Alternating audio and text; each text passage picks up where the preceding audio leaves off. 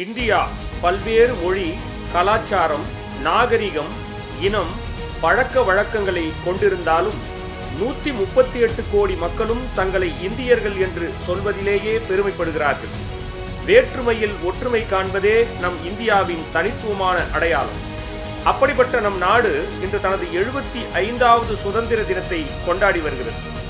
பல ஆண்டுகள் போராடிய நம் சுதந்திர போராட்ட தியாகிகளின் வீரர்களின் தியாகத்தால் ஆகஸ்ட் பதினைந்து ஆயிரத்தி தொள்ளாயிரத்தி நாற்பத்தி ஏழில் சுதந்திரம் பெற்றது நமது இந்தியா. சுதந்திரம் பெற்றது முதல் இன்று வரை பல சவால்களை எதிர்கொண்டு வென்றும் உள்ளது நமது நாடு. இப்படி எழுபத்தி ஐந்து ஆண்டுகள் தொடர்ந்து அரசியல் அமைப்பிற்கு இணங்க வெற்றிகரமாக ஜனநாயகத்தின் மாண்பினை பின்பற்றி முன்னேறி வருவது போல் உலகில் வேறு எங்கும் காண்பது அரிது. உலகின் பல்வேறு மதங்களைச் சேர்ந்த மக்கள் அமைதியாக வாழும் பன்முகத்தன்மை கொண்ட நாடு நமது பாரத நாடு என்பது நாமெல்லாம் பெருமைப்படக்கூடியது. இந்த ஆண்டின் சுதந்திர தின கொண்டாட்டத்தின் மைய அம்சமாக விளங்குவது நேஷன் ஃபர்ஸ்ட் ஆல்வேஸ் ஃபர்ஸ்ட் தேசம் முதன்மையானது எப்பொழுதும் முதன்மையானது என்ற அடிப்படையில் நாடு முழுவதும் இன்று எழுபத்தி ஐந்தாவது சுதந்திர தினம் கோலாகலமாக கொண்டாடப்பட்டு வருகிறது.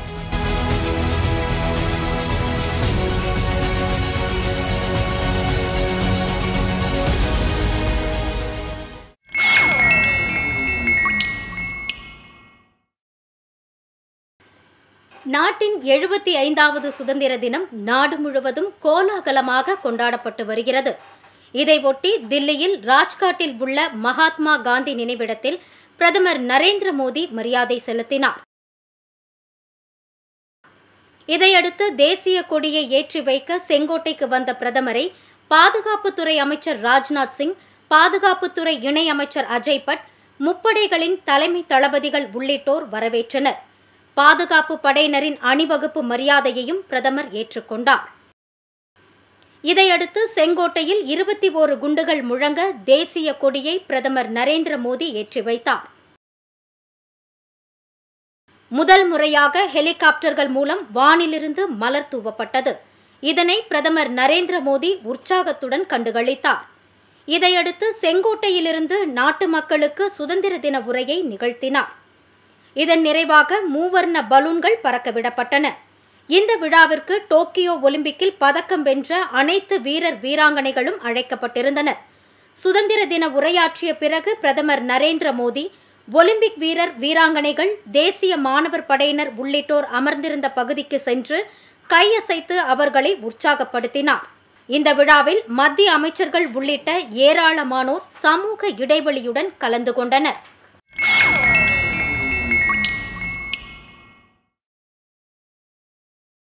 தில்லி செங்கோட்டையில் சுதந்திர தின உரையாற்றிய பிரதமர் நரேந்திர மோடி நாட்டுக்காக உழைக்கும் பாதுகாப்பு படையினருக்கு பாராட்டுக்களை தெரிவித்துக் கொண்டார் ஒலிம்பிக் போட்டியில் பங்கேற்று இந்தியாவிற்கு பெருமை சேர்த்தவர்களுக்கு கைதட்டி பாராட்டு தெரிவித்தார் அப்போது இந்த விழாவில் கலந்து கொண்டவர்களும் கைதட்டி பாராட்டு தெரிவித்தனர் उन सबको मैं कहता हूं कि हमारे खिलाड़ियों के सम्मान में आइए कुछ पल तालियां बजा करके उनका सम्मान करें தேச பிரிவினையின் போது மக்கள் எதிர்கொண்ட கொடுமைகளுக்கு மரியாதை செலுத்தும் வகையில் ஆண்டுதோறும் ஆகஸ்ட் பதினான்காம் தேதி பிரிவினை கொடுமைகள் தினமாக அனுசரிக்க முடிவு செய்யப்பட்டுள்ளதாக அவர் தெரிவித்தார் கொரோனா பெருந்தொற்று காலத்தில் ஒவ்வொரு துறையிலும் நாம் சிறப்பாக செயல்பட்டதாகவும் தடுப்பூசிக்காக யாரையும் சார்ந்திருக்கவில்லை என்றும் பிரதமர் தெரிவித்தார் உலகின் மிக பெரும் தடுப்பூசி திட்டம் இந்தியாவில் செயல்படுத்தப்பட்டு வருவதாக அவர் குறிப்பிட்டார்.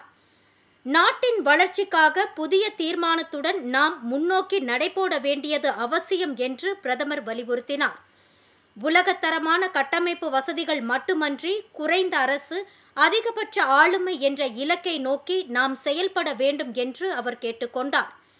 நமது இலக்குகளை நாட்டின் நூறாவது சுதந்திர தினம் கொண்டாடப்படும் இரண்டாயிரத்தி நாற்பத்தி ஏழாம் ஆண்டிற்குள் நிறைவேற்ற வேண்டும் என்று அவர் கேட்டுக்கொண்டார் कल ही भारत ने एक भावुक निर्णय लिया है अब से हर वर्ष 14 अगस्त को विभाजन विभीषिका स्मृति दिवस के रूप में याद किया जाएगा जो लोग विभाजन के समय अमानवीय हालात से गुजरे, जिन्होंने अत्याचार सहे, जिन्हें सम्मान के साथ अंतिम संस्कार तक नसीब नहीं हुआ, उन लोगों को, उन लोगों का हमारी स्मृतियों में जीवित रहना भी उतना ही ज़रूरी है।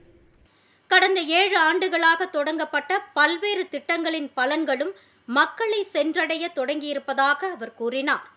நூறு சதவீத கிராமங்களுக்கு சாலைகளும் நூறு சதவீத குடியிருப்புகளுக்கு வங்கிக் கணக்குகளும் அனைவருக்கும் ஆயுஷ்மான் பாரத் சுகாதார அட்டைகளும் தகுதி வாய்ந்த அனைவருக்கும் எரிவாயு இணைப்பும் வழங்கப்பட வேண்டும் என்று பிரதமர் வலியுறுத்தினார். மத்திய அரசு நிறைவேற்றிய ஓபிசி மசோதா மூலம் நாட்டில் உள்ள பிற்படுத்தப்பட்ட வகுப்பினருக்கு இடஒதுக்கீடு கிடைக்கும் என்று அவர் நம்பிக்கை தெரிவித்தார். இரண்டாயிரத்தி இருபத்தி நான்காம் ஆண்டில் அனைத்து திட்டங்களிலும் வழங்கப்படும் அரிசி நூறு சதவீதம் ஊட்டச்சத்து மிக்கதாக இருக்க வேண்டும் என்று அவர் வலியுறுத்தினார். நாட்டின் வளர்ச்சி பாதையில் அனைத்து பகுதிகளையும் இடம்பெற செய்ய வேண்டும் என்று அவர் குறிப்பிட்டார். கிராமப்புற கைவினை கலைஞர்களை உலகுடன் இணைப்பதற்காக மின்னணு வர்த்தக தளத்தை இந்தியா தொடங்க உள்ளதாக அவர் தெரிவித்தார். அரசின் திட்டங்களால் நூறு சதவீத மக்கள் பயனடைய வேண்டும் என்று அவர் கேட்டுக்கொண்டார். நமது விவசாயிகளில் எண்பது சதவீதத்திற்கு மேற்பட்டோர் இரண்டு ஹெக்டேருக்கும் குறைவான நிலத்தையே வைத்திருப்பதாகவும் சிறு விவசாயிகளை மேம்படுத்துவதற்காகவே சீர்திருத்தங்கள் கொண்டுவரப்பட்டதாகவும் பிரதமர் தெரிவித்தார். வட்ட அளவில் சேமிப்பு கிடங்குகள் உருவாக்கப்படும் என்றும் அவர் தெரிவித்தார். வரும் ஆண்டுகளில் விவசாயிகளின் திறனை அதிகரிக்க உள்ளதாகவும் புதிய வசதிகளை வழங்க உள்ளதாகவும் அவர் தெரிவித்தார்.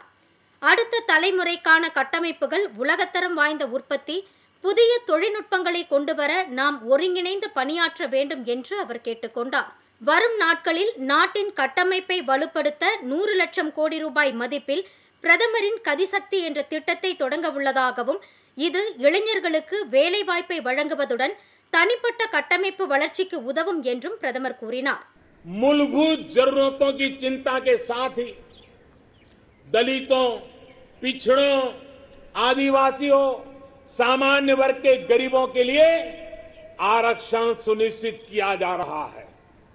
अभी हाल ही में मेडिकल शिक्षा के क्षेत्र में, ऑल इंडिया कोटे में ओबीसी वर्ग में को आरक्षण की व्यवस्था भी की गई है। संसद में कानून बनाकर ओबीसी से जुड़ी सूची बनाने का अधिकार राज्यों को दे दिया गया है। எட்டு பில்லியன் டாலர் மதிப்பிலான செல்போன்களை இறக்குமதி செய்து வந்த இந்தியா தற்போது மூன்று பில்லியன் டாலர் மதிப்பிலான செல்போன்களை ஏற்றுமதி செய்வதாகவும் சர்வதேச உற்பத்தி மையமாக மாறியிருப்பதாகவும் அவர் குறிப்பிட்டார். அனைத்து சைனிக் பள்ளிகளிலும் மாணவிகளும் சேர்க்கப்படுவார்கள் என்று பிரதமர் அறிவித்தார். நூறாவது சுதந்திர தினத்தை கொண்டாடுவதற்கு முன்னதாக எரிசக்தியில் இந்தியா சுயசார்பை அடைய வேண்டும் என நாம் உறுதியேற்க வேண்டும் என்று பிரதமர் கேட்டுக்கொண்டார். இரண்டாயிரத்தி முப்பதாம் ஆண்டில் கார்பன் வாயு வெளியேற்றம் இல்லாத நிலையை உருவாக்க இந்திய ரயில்வேயை முற்றிலும் மின்மயமாக்கும் பணிகள் நடைபெற்று வருவதாக அவர் கூறினார் பருவநிலை மாற்றத்தை கருத்தில் கொண்டு தேசிய ஹைட்ரஜன் இயக்கம் செயல்படுத்தப்படும் என்று பிரதமர் அறிவித்தார் சுற்றுச்சூழலுக்கு பாதிப்பில்லாத ஹைட்ரஜனை உற்பத்தி மற்றும் ஏற்றுமதி செய்யும் மையமாக இந்தியாவை மாற்ற வேண்டும் என்று பிரதமர் நரேந்திர மோடி கேட்டுக்கொண்டார் इलेक्ट्रॉनिक मैन्युफैक्चरिंग सेक्टर से है सात साल पहले हम लगभग आठ बिलियन डॉलर के मोबाइल फोन इंपोर्ट यानी आयात करते थे अब इंपोर्ट तो बहुत ज्यादा घटी है आज हम तीन बिलियन डॉलर के मोबाइल फोन एक्सपोर्ट भी कर रहे हैं துல்லிய தாக்குதல் நடத்தியதன் மூலம் புதிய இந்தியா உருவாகி இருப்பதையும் கடுமையான முடிவுகளை எடுக்கவும் நாம் தயாராக இருப்பதையும் எதிரிகளுக்கு எடுத்துரைப்பதாக பிரதமர் கூறினார். இறுதியில் ஜெய் ஹிந்த் என்று கூறி பிரதமர் நரேந்திர மோடி தனது உரையை நிறைவு செய்தார்.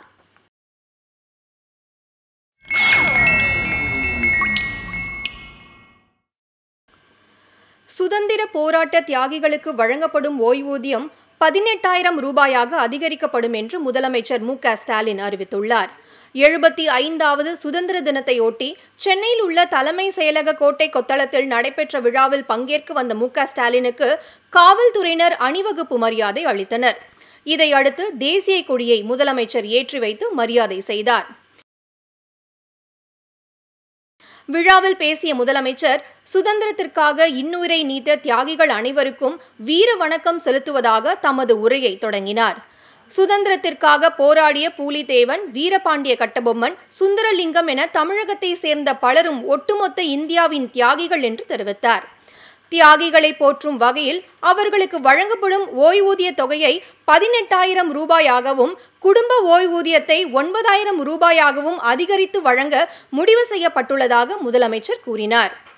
சுதந்திர தின விழாவில் கொடியேற்றும் வாய்ப்பை தமக்கு வழங்கிய தமிழக மக்களுக்கு அவர் நன்றி தெரிவித்துக் கொண்டார். மதுரைக்கு வந்த அண்ணல் காந்தியடிகள் தமிழ் மக்களை பார்த்து கதராடியை உடுத்த தொடங்கியதன் நூற்றாண்டு விழாவும் இந்த ஆண்டு கொண்டாடப்படுவதை அவர் குறிப்பிட்டார். இந்திய விடுதலை போராட்டத்திற்கு தமிழ்நாடு அளித்த பங்களிப்பு குறித்து முழுமையான ஆவணம் ஒன்று தமிழிலும் ஆங்கிலத்திலும் வெளியிடப்படும் என முதலமைச்சர் தெரிவித்தார். விடுதலை போராட்டத்தில் கலந்து கொண்டு நமது நாட்டின் விடுதலைக்காக பாடுபட்ட தியாகிகளுக்கும் அவர்தம் குடும்பத்தினருக்கும் உதவிகள் வழங்குவதில் தமிழ்நாடு அரசு எப்பொழுதும் முன்னுரிமை அளித்து வருகிறது. அந்த வகையில் மாநில அரசால் விடுதலை போராட்ட தியாகிகளுக்கு வழங்கப்படும் ஓய்வு தொகை பதினேழாயிரம் ரூபாயிலிருந்து பதினெட்டாயிரம் ரூபாயாக உயர்த்தப்படும். குடும்ப ஓய்வு தொகை- ஓய்வூதிய தொகை எட்டாயிரத்தி ஐநூறு ரூபாயிலிருந்து ஒன்பதாயிரம் ரூபாயாகவும் உயர்த்தப்படும். என்பதை இந்த வேளையில் பெருமிதத்தோடு தெரிவித்துக் கொள்கிறேன். இந்த ஆண்டு வஉசியின் நூற்றி ஐம்பதாவது ஆண்டு விழா கொண்டாட்டத்தை சிறப்பாக மேற்கொள்ள அரசு திட்டமிட்டுள்ளதாக அவர் கூறினார்.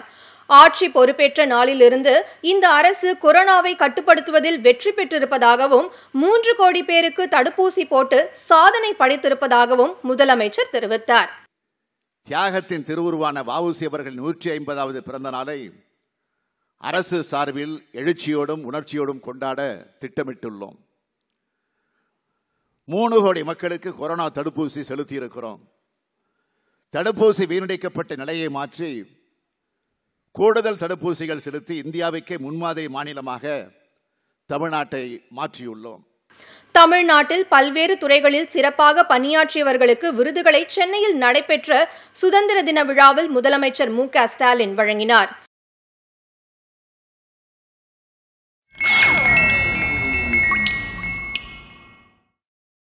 புதுச்சேரி முதலமைச்சர் ரங்கசாமி கடற்கரை சாலை காந்தி திடலில் நடைபெற்ற நிகழ்ச்சியில் தேசிய கொடியை ஏற்றி வைத்து அணிவகுப்பு மரியாதையை ஏற்றுக்கொண்டார்.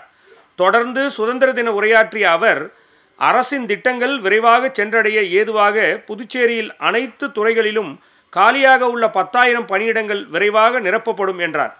புதுச்சேரி நகரத்தில் சட்டம் ஒழுங்கை பேணி காக்க நகரம் முழுவதும் அறுபது கோடி ரூபாய் மதிப்பீட்டில் சிசிடிவி கேமராக்கள் பொருத்தப்படும் என்று அவர் கூறினார். ரூபாய் ரெண்டு புள்ளி அஞ்சு ஒன்பது கோடி வானிலையின் பங்களிப்பாகும். மேலும் இத்திட்டம் செயலாக்கத்திற்கான தொழில்நுட்ப ஆலோசனை மேற்பார்வை மற்றும் நிதி மேலாண்மை ஆகியவற்றை தேசிய பால்வள வாரியத்தின் பெறும் வகையில் ஒப்பந்தம் செய்யப்பட்டுள்ளது. புதுச்சேரி மாநிலத்தை மீண்டும் பசுமையான புதுச்சேரியாக மாற்றும் வகையில் எழுபத்தி ஐயாயிரம் மரக்கன்றுகளுடன் தொடக்க பெருவிழா இம்மாதம் மூணாம் தேதி பாபு கோவில் உள்ள மணப்பட்டு கிராமத்தில் நடைபெற்றது. இதில் அரசு துறைகள் மாணவர்கள் அரசு சாரா நிறுவனங்கள் உள்ளூர் அமைப்புகள் தன்னாளர்கள் மற்றும் பொதுமக்கள் மூலம் புதுச்சேரி மாநிலம் முழுவதும் எழுபத்தி ஐயாயிரம் மரக்கன்றுகள் நடப்பட்டன. தொடர்ந்து சிறப்பாக பணியாற்றிய காவல்துறையினர் மற்றும் அதிகாரிகளுக்கு முதலமைச்சர் பரிசுகளை வழங்கினார்.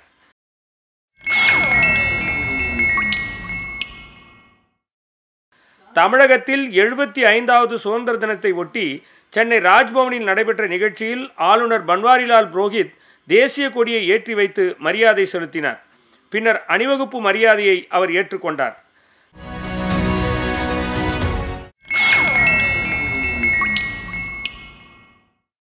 தெலுங்கானா ராஜ்பவனில் நடைபெற்ற எழுபத்தி ஐந்தாவது சுதந்திர தின விழாவில் ஆளுநர் தமிழிசை சவுந்தரராஜன் பங்கேற்று தேசிய கொடியை ஏற்றி வைத்தார்.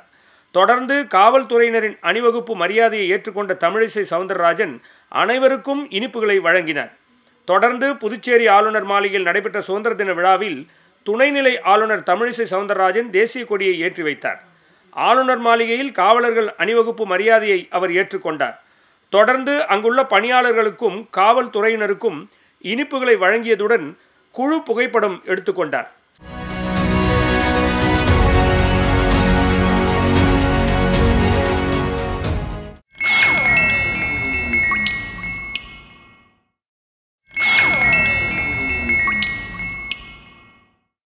தமிழக பிஜேபி தலைவர் அண்ணாமலை வேலூர் அருகே ரங்கபுரம் என்ற இடத்தில் எழுபத்தி ஐந்து அடி உயரமுள்ள கம்பத்தில் தேசிய கொடியை ஏற்றி வைத்து மரியாதை செலுத்தினார். தொடர்ந்து பொதுமக்களுக்கு அவர் இனிப்புகளை வழங்கினார். பின்னர் வேலூர் கோட்டை எதிரே உள்ள சிப்பாய் புரட்சி நினைவு தூணில் மலர் வளையம் வைத்து அஞ்சலி செலுத்தினார். இந்த நிகழ்ச்சியில் பிஜேபி மாநில பொதுச் செயலாளர் கே டி ராகவன் மாநில செயலாளர் காத்தியாயினி உள்ளிட்ட பலர் கலந்து கொண்டனர். எழுபத்தி ஐந்தாவது சுதந்திர தின கொண்டாட்டத்தின் ஒரு பகுதியாக பிஜேபி மாநில இளைஞரணி சார்பில் ஏற்பாடு செய்யப்பட்டிருந்த சைக்கிள் பேரணியை மாநில தலைவர் அண்ணாமலை தொடங்கி வைத்தார். இந்த சைக்கிள் பேரணி சென்னையில் இருந்து மகாபலிபுரம் வரை நடைபெற்றது. நிகழ்ச்சிக்கு பின்னர் செய்தியாளரிடம் பேசிய அவர் பிரதமர் நரேந்திர மோடி எழுபத்தி ஐந்தாவது சுதந்திர தினத்தை கோலாகலமாக கொண்டாட அறிவுறுத்தியதன் அடிப்படையில் தமிழக பிஜேபி மாநிலம் முழுவதும் பல்வேறு நிகழ்ச்சிகளை நடத்தியதாக தெரிவித்தார். இது ஒரு முக்கியமான வருடம். சுதந்திரம் கிடைத்து எழுபத்தி ஐந்து ஆண்டுகளை பூர்த்தி செய்திருக்கின்றோம். நம்முடைய பாரத பிரதமர் நரேந்திர மோடிஜி அவர்களுடைய கனவு இந்த வருடம் முழுவதுமே மகிழ்ச்சி திருவிழாவாக அமிர்த் மகோத்சவாக நம்ம கொண்டாட வேண்டும் என்று பெருமையுடன் நமக்கு சொல்லியிருக்கின்றார். அதே போல் பாரதிய ஜனதா கட்சியும் கூட இன்றிலிருந்து பல நிகழ்ச்சிகளை வைத்திருக்கிறது. இன்று மாநிலம் முழுவதும் எழுபத்தைந்து இடங்களிலே எழுபத்தைந்து தலைவர்கள் சென்று முக்கியமான தலைவருடைய இடத்தில் மரியாதை செலுத்துகின்றார்கள். மாநிலம் முழுவதும் எழுபத்தி ஐந்து இடங்களில் சுதந்திர போராட்டத்தில் ஈடுபட்ட தியாகிகளுக்கு மரியாதை செலுத்தப்பட்டதாகவும் தெரிவித்தார். நாமக்கல்லில் பிஜேபி மாநில துணைத் தலைவர் வி. பி. துரைசுவாமி சுதந்திர நினைவு தூண் பாரத மாதா நாமக்கல் கவிஞர் ஆகிய திருவுருவ படங்களுக்கு மாலை அணிவித்து மரியாதை செலுத்தினார். தமிழகத்தில் மத்திய இணையமைச்சர் நாளை முதல் மூன்று நாட்களுக்கு மக்கள் ஆசி யாத்திரை மேற்கொள்ள உள்ளதாக அவர் தெரிவித்தார்.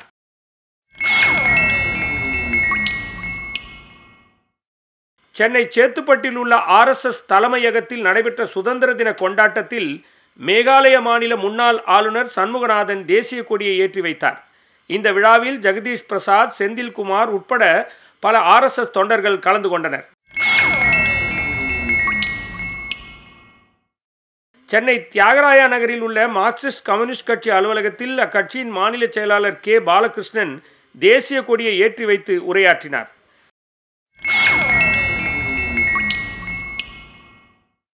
திருச்சி பெல் தொழிற்சாலை குடியிருப்பு வளாகத்தில் உள்ள ஜவஹர்லால் நேரு விளையாட்டு மைதானத்தில் நடைபெற்ற எழுபத்தி ஐந்தாவது சுதந்திர தின கொண்டாட்டத்தில் பெல் நிறுவன பொது மேலாளரும் தலைவருமான பி. எஸ். முரளி தேசிய கொடியை ஏற்றி வைத்தார்.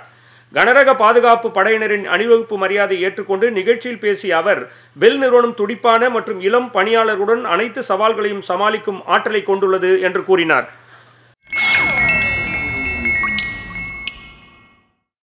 சென்னை தெற்கு ரயில்வே அலுவலகத்தில் நடைபெற்ற சுதந்திர தின கொண்டாட்டத்தில் தெற்கு ரயில்வேயின் பொது மேலாளர் ஜான் தாமஸ் தேசிய கொடியை ஏற்றி வைத்து ரயில்வே பாதுகாப்பு படையினரின் அணிவகுப்பு மரியாதையை ஏற்றுக்கொண்டார். இந்த விழாவில் பேசிய அவர் ஆண்டிப்பட்டி தேனி மதுரை போடிநாயக்கனூர் அகல ரயில் பாதை அமைக்கும் பணி மற்றும் தாம்பரம் கூடுவாஞ்சேரி தாம்பரம் செங்கல்பட்டு மூன்றாவது பாதை அமைக்கும் பணி விரைவில் முடிவடையும் என்று குறிப்பிட்டார். மேலும் கொரோனா பெருந்தொற்றை எதிர்கொள்ள தென்னக ரயில்வே இருநூற்றி பதினான்கு ஆக்சிஜன் விரைவு ரயிலை கேரளா மற்றும் தமிழ்நாட்டிற்கு கையாண்டு பெருந்தொற்றில் இருந்த பல உயிர்களை காப்பாற்றியுள்ளதை நினைவு கூர்ந்தார். திருவள்ளூர் மாவட்டம் அம்பத்தூரை அடுத்த அத்திப்பட்டில் உள்ள வீட்டு வசதி வாரிய குடியிருப்பு வளாகத்தில் எழுபத்தி ஐந்தாவது சுதந்திர தின விழா இன்று கொண்டாடப்பட்டது. இந்த விழாவில் தமிழக அரசின் உயர்கல்வித்துறை நிதிச் செயலாளர் கார்த்திகா தேசிய கொடியை ஏற்றி வைத்து குடியிருப்பு வளாகத்தில் மரக்கன்றுகளை நட்டு சிறப்புரை ஆற்றினார். விழாவின் ஒரு பகுதியாக இலவச அக்குபஞ்சர் மற்றும் பாத சிகிச்சை மருத்துவ முகாம் மருத்துவர் ரவிச்சந்திரன் தலைமையில் நடைபெற்றது.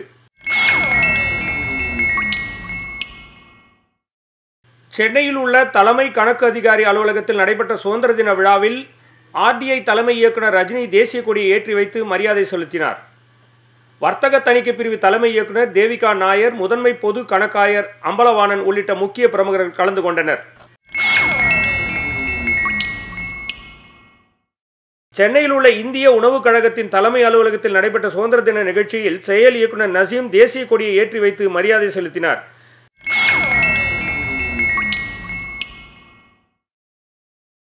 செங்கல்பட்டு மாவட்டம் சிறுதாமூர் கிராமத்தில் எழுபத்தி ஐந்தாவது சுதந்திர தினம் இன்று கொண்டாடப்பட்டது. மூன்று ஆண்டுகளாக ஊரின் மத்தியில் தினமும் தேசிய கொடியேற்றி தேசிய கீதம் பாடி தேசத்தை வணங்கும் ஒரே கிராமம் என்று கூறப்படும் இந்த கிராமத்தில் நடைபெற்ற சுதந்திர தின விழாவில் ராணுவ வீரர்களும் சுகாதார முன்கள பணியாளர்களுக்கும் வீரவணக்கம் செலுத்தி கௌரவிக்கப்பட்டது.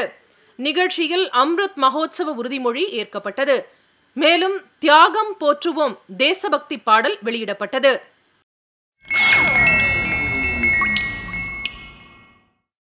சென்னை பொதிகை தொலைக்காட்சியில் நடைபெற்ற சுதந்திர தின கொடியேற்று விழாவில் மூவர்ண கொடியை ஏற்றி வைத்து ஊர்காவல் படையின் அணிவகுப்பு மரியாதையை ஏற்றுக்கொண்டார் நிலைய பொறியியல் பிரிவு துணைத் தலைமை இயக்குனர் கிருஷ்ணதாஸ் அவர்கள். இந்த கொடியேற்று விழாவில் தொலைக்காட்சி பிரிவின் பொறியியல் பிரிவு இயக்குனர் ஞானராஜன் செய்தி பிரிவு தலைவர் விஜயன் நிகழ்ச்சி பிரிவு தலைவர் சையத் ரஃபிக் பாஷா மற்றும் நிகழ்ச்சி பிரிவு பொறியியல் பிரிவு மற்றும் நிர்வாக பிரிவைச் சேர்ந்த அலுவலர்களும் ஊழியர்களும் கலந்து கொண்டு எழுபத்தி ஐந்தாவது சுதந்திர தினத்தை சிறப்பித்தனர். தென்மண்டல வானொலி மற்றும் தொலைக்காட்சியின் கூடுதல் தலைமை இயக்குனர் ராமச்சந்திரன் வளாகத்தில் நடைபெற்ற கொடியேற்று விழாவில் தேசிய கொடியை ஏற்றி வைத்தார். சென்னை மணலியில் உள்ள சென்னை பெட்ரோலியம் கார்ப்பரேஷன் நிறுவனத்தில் நடைபெற்ற சுதந்திர தின விழாவில் அந்த நிறுவனத்தின் நிதி பிரிவு இயக்குனர் ராஜீவ் ஐலாவாடி தேசிய கொடியை ஏற்றி வைத்து மத்திய தொழில் பாதுகாப்பு படையினரின் அணிவகுப்பு மரியாதையை ஏற்றுக்கொண்டார்.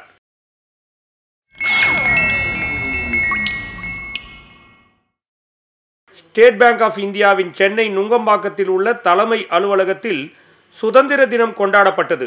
நிகழ்ச்சியில் தலைமை பொது மேலாளர் ஆர். ராதாகிருஷ்ணன் தேசிய கொடியை ஏற்றி வைத்து மரியாதை செலுத்தினார்.